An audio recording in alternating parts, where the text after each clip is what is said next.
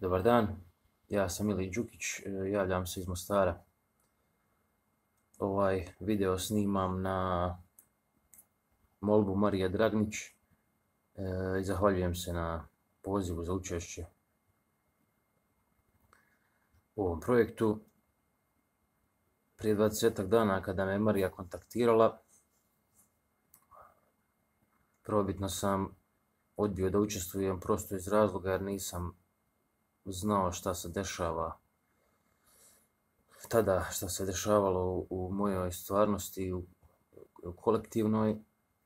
E, međutim, evo, nakon 20 dana i dalje nemam pojma šta se dešava, ali e, video snimam iz dva razloga. Prvi je bio taj da sam i u prošlosti e, u trenucima nepoimanja stvarnosti ipak djelovao neko, na neki način, odnosno živio i nastavljao da radim to što radim. Drugi razlog bi bio taj da jako cijenim, imam veliki respekt prema ljudima e, koje ne može poremetiti ništa, pa čak ni neka globalna anksioznost, izbunjenost i cijenim ljude koji nastavljaju da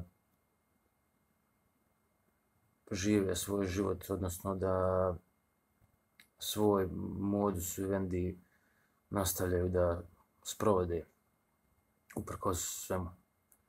E, Marija me zamola da pročitam e, neku od svojih pjesama, pjesmu nekog mladog autora čiji rad jako cijenim i pjesmu e, nekog, ajmo reći, e, ličnog klasika. Ja sam odabrao jako kratke pjesme, e, i svoju i, tuđ, i tuđe. I prvu pjesmu koju ću vam pročitati je moja pjesma iz zbirke Zima će ponovo biti teška iz 2015. godine. Printani primjerak nemam, tako da ću vam čitati sa ekrana. Pjesma se zove Danas neću biti kod kuće. Odlazim na jedno čudno upoznavanje. Sljedeću pjesmu koju ću vam čitati je pjesma mladog autora, po meni već odavno afirmiranog kompletnog autora, to je moj brat Alvin Brlek e, i pjesmu koju ću vam pročitati nalazi se u njegovoj posljednjoj zbirci pjesama e, Sang koja je izašla koncem prošle godine u izdanju Hrvatskog društva pisaca u Zagrebu i početkom ove godine kada još uvijek nismo slutali ovu stvarnost zbirka izašla u Srbiji u izdanju Beogradskog kontrasta. Ne znam jeste li čitali i da li čitate Alana Brleka, ali izgooglajte ga, nađite ga, tražite ga, uglavnom čitajte Brleka.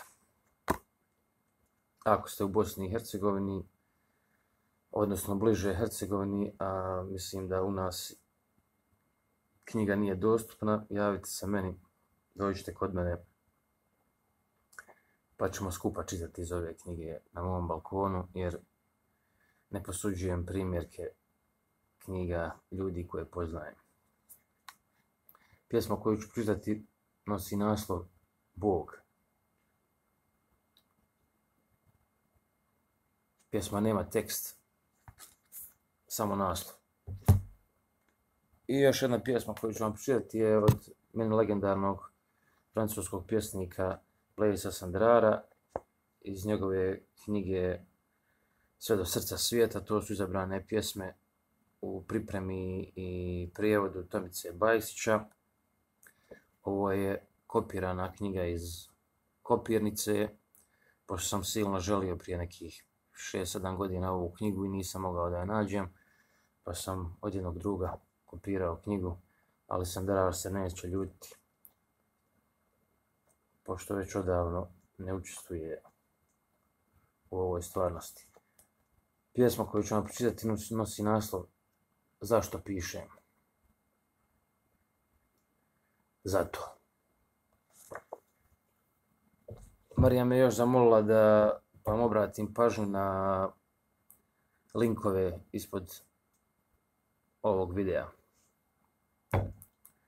Budite zdravo, budite dobro, budite sretni, budite veseli, osim kada niste dobro, zdravo i veselo.